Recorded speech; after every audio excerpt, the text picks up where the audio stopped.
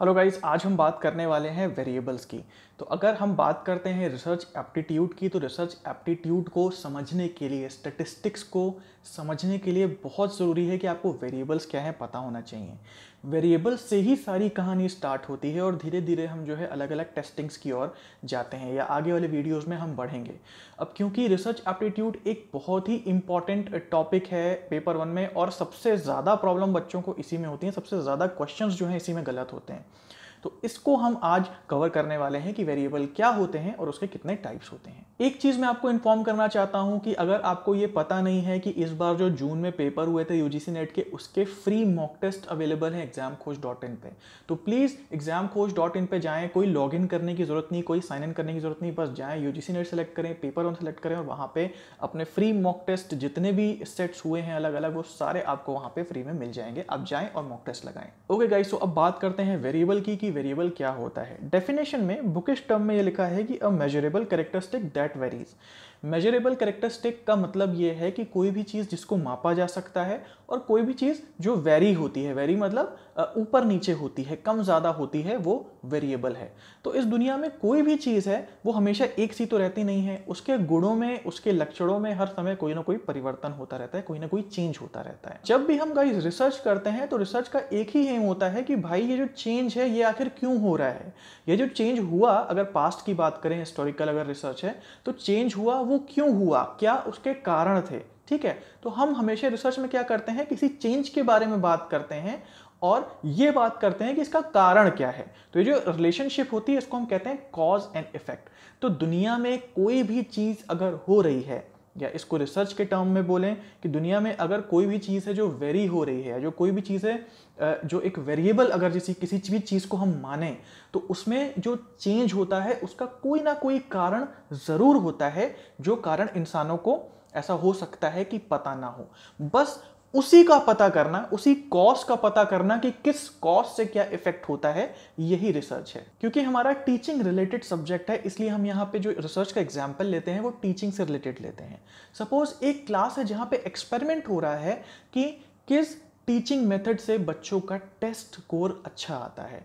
यानी कि एक क्लास में एक्सपेरिमेंट हो रहा है दो तीन टाइप के टीचिंग मेथड्स यूज़ किए जा रहे हैं और उससे ये देखा जा रहा है कि किस पर्टिकुलर टीचिंग मेथड का प्रयोग करके यूज़ करके बच्चों के स्कोर में इजाफा हो रहा है, बच्चों का स्कोर इंक्रीज हो रहा है। तो इसमें क्या है? इसमें वेरिएबल क्या होगा? इसमें वेरिएबल जो चीज़ें बदल रही हैं। अब आप एग्ज़ाम्पल में देखें क्या क्या चीज़ें बदल रही हैं? जैसे टीचिंग मेथड बदल रहे हैं अलग अलग मेथड्स को हम यूज़ करके देख रहे हैं तो टीचिंग मेथड एक वेरिएबल हो गया।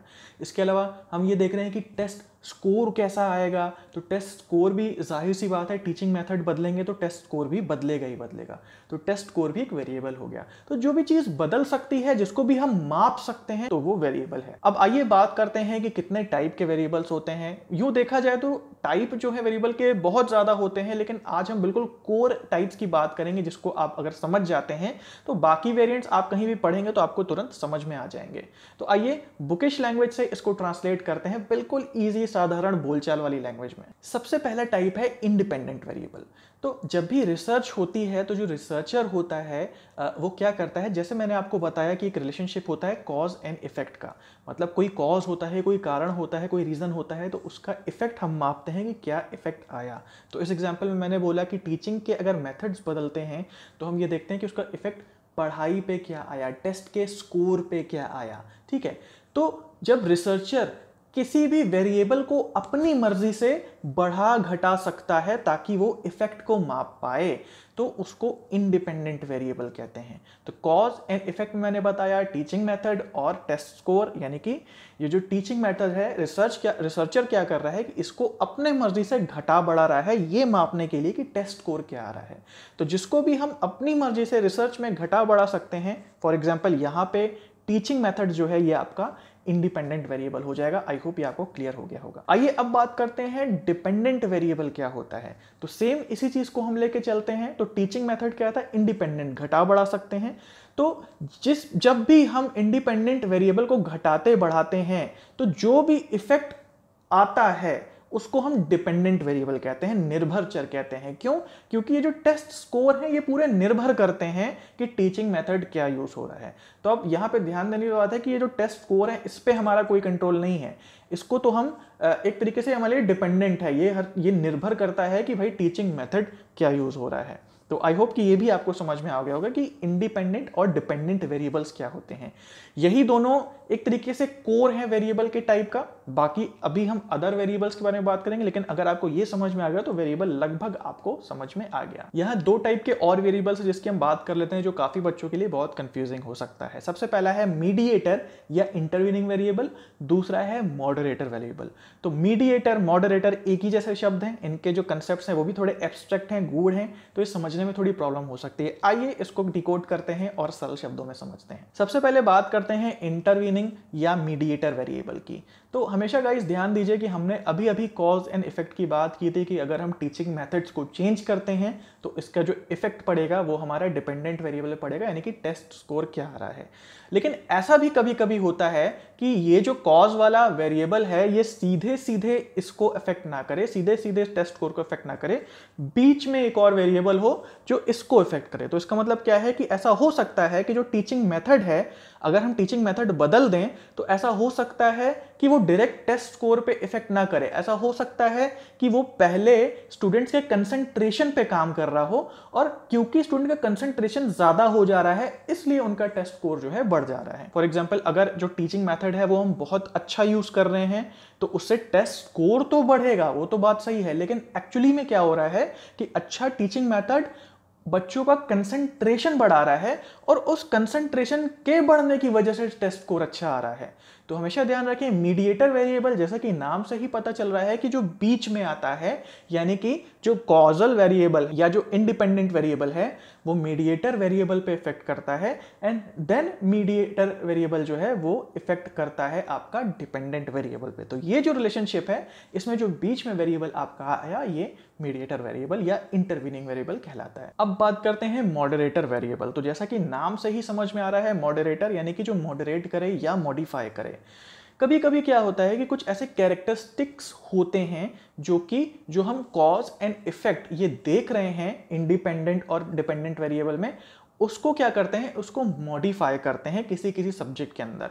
इसके छोटा सा एग्ज़ाम्पल देख लेते हैं कि अगर हम टीचिंग मेथड्स यूज़ कर रहे हैं अलग अलग टेस्ट स्कोर देखने के लिए तो ऐसा हो सकता है कि जो मेथड है इंग्लिश बोलने वाले बच्चे हैं, उन पे ये मेथड अच्छा काम कर रहा है और जो हिंदी बोलने वाले बच्चे हैं, उन पे मेथड उतना अच्छा काम नहीं कर रहा है।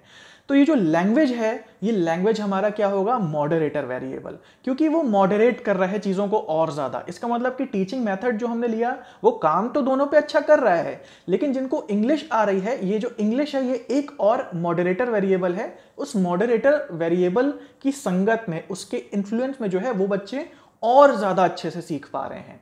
तो मॉडरेटर वेरिएबल सब्जेक्ट में अवेलेबल होता है। अगर वो प्रेजेंट होता है तो वो अफेक्ट करता है हमारे कॉज एंड इफ़ेक्ट के रिलेशनशिप को।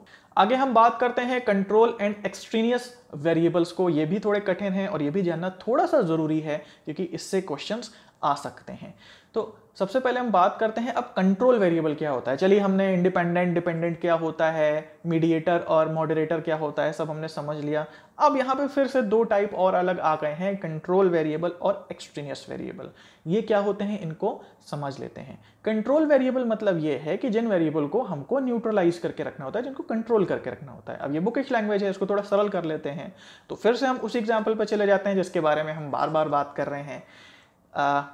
Cause and effect teaching methods बदलते हैं तो उसके बाद जो उसका टेस्ट स्कोर है बच्चों का, वो बढ़ता या घटता है टीचिंग मेथड के बदलने से। तो अब एक मुझे बात बताइए कि जो टेस्ट के स्कोर का घटना या बढ़ना है, क्या ये टीचिंग मेथड पे ही यूज़ होता है? या और भी कई चीज़ें हैं, अगर इसमें डाल दी जाए इस जगह पे तो उससे भी टेस्ट स्कोर बढ़ या घट सकता है? फॉर एग्ज़ाम्पल अगर हम टीचिंग एड्स की बात कर लें सपोज़ टीचिंग मेथड हम एक यूज़ करें पर्टिकुलर लेकिन अगर उसमें हम टीचिंग एड्स बदलें सपोज़ एक टीचर है, वो प्रोजेक्टर से पढ़ा रहा है, एक टीचर बिना प्रोजेक्टर के पढ़ा रहा है तो टीचिंग मेथड तो अपनी जगह सही है, वो इफ़ेक्ट करता है टेस्ट स्कोर्स पे। लेकिन अगर प्रोजेक्टर और नॉन प्रोजेक्टर क्लास भी रखें तो उसका भी इफ़ेक्ट टेस्ट कोर्स पे पड़ सकता है। प्रोजेक्टर वालों को ज़्यादा समझ में आएगा बच्चों को, जो प्रोजेक्टर नहीं है जहाँ पे, वहाँ कम समझ में आएगा। तो ऐसा नहीं है कि केवल टीचिंग मेथड का ही इफ़ेक्ट पड़ता है टेस्ट कोर्स पे। ऐसे बहुत सारी चीज़ें हम इंक्लूड कर सकते हैं इस जगह पे, इस कॉज वाली जगह पे। बहुत सारे वेरिएबल इंक्लूड कर सकते हैं जिससे कि टेस्ट स्कोर पे फ़र्क पड़े। लेकिन अगर हम रिसर्च जो है केवल टीचिंग मेथड की कर रहे हैं तो भाई इसमें बहुत ज़रूरी है कि दूसरे जितनी भी चीज़ें हैं जो टेस्ट स्कोर पे इफ़ेक्ट करती हैं, उनको न्यूट्रलाइज कर दो। नहीं तो फिर समझ में नहीं आएगा किस चीज़ से किस पे फ़र्क पड़ रहा है। तो अगर आप टीचिंग मेथड की रिसर्च कर रहे हैं तो अगर प्रोजेक्टर की बात है, या तो सारे आप मेथड्स में प्रोजेक्टर प्रोवाइड कराइए, या तो किसी मेथड में प्रोजेक्टर ना प्रोवाइड कराइए। वरना सारे रिजल्ट्स जो हैं ऊपर, नीचे और गड़बड़ हो जाएँगे, और आपको समझ में ही नहीं आएगा कि बच्चों को जो टेस्ट स्कोर है वो अच्छा कैसे हो रहा है। प्रोजेक्टर यूज़ कर रहे हैं, तब अच्छा हो रहा है, या टीचिंग मैथड बदल रहे हैं, तब अच्छा हो रहा है। इसलिए कंट्रोल वेरिएबल के मतलब है कि हम वो वेरिएबल्स जो न्यूट्रलाइज कर देते हैं, ताकि हम, जो सेलेक्टेड वेरिएबल है, उसी से इफ़ेक्ट पता कर पाए अपने डिपेंडेंट वेरिएबल पे। अब बात करते हैं एक्सट्रीनियस वेरिएबल की तो एक्सट्रीनियस वेरिएबल वो होते हैं जिसपे कि रिसर्चर का कोई कंट्रोल नहीं होता है और वो रिज़ल्ट को बहुत प्रभावित भी करते हैं। क्योंकि रिसर्चर का कंट्रोल नहीं है एक्सट्रीनियस वेरिएबल पे तो कुछ किया नहीं जा सकता है, लेकिन हाँ ये ध्यान रखना बहुत ज़रूरी है कि भैया कुछ वेरिएबल अलग से कोई चीज़ जो है वो प्रभावित कर रही है टेस्ट स्कोर को, यानी कि अपने डिपेंडेंट वेरिएबल को। तो इसका एक एग्ज़ाम्पल ले लें सपोज़ अगर हम टीचिंग मेथड हमने बहुत अच्छा कर दिया, अब हम सोचें टेस्ट जो स्कोर्स हैं वो बहुत अच्छे आने वाले हैं। तो ऐसा हो सकता है कि टेस्ट स्कोर अच्छे ना आए, क्यों? हो सकता है स्टूडेंट्स बहुत थके हुए हों। हो सकता है कि स्टूडेंट्स के अंदर मोटिवेशन ही ना हो। तो ये जो थके होना है मोटिवेशन ना होना है, ये क्या है? ये एक्सट्रीनियस वेरिएबल है, ये बाहर की चीज़ है रिसर्च के बाहर की चीज़ है, जो कि कॉज एंड इफ़ेक्ट को जो है, प्रभावित कर रही है। छोटा सा एग्ज़ाम्पल ये भी ले सकते हैं कि भाई हमने टीचिंग मेथड तो बहुत अच्छा कर दिया, लेकिन भैया हमने एसी नहीं लगाया और गर्मी का समय चल रहा है। तो उसमें क्या होगा? तो जो गर्मी जो है, ये एक्सट्रीनियस वेरिएबल है जो कि हमारे रिज़ल्ट को प्रभावित करेगा। तो गाइज़ इस वीडियो के लिए इतना ही था। आई होप आपको समझ में आया होगा कि कितने टाइप के वेरिएबल्स होते हैं और बिल्कुल सरल शब्दों में आई होप कि मैंने आपको समझाया होगा। तो जैसे भी आपकी राय है, क्या हमें आगे करना चाहिए, इस वीडियो में आपको क्या समझ में आया, क्या नहीं समझ में आया प्लीज़ कमेंट बॉक्स में हमको बताएँ। और वीडियोज़ अगर पसंद आते हैं तो प्लीज़ अप्रिशिएट करें। वीडियो लाइक करें शेयर करें और सब्सक्राइब करना चैनल को बिल्कुल मत भूलें। सो गाइज़ आज की वीडियो को इतना ही है। मिलते हैं नेक्स्ट वीडियो में। तब तक के लिए nice day and bye bye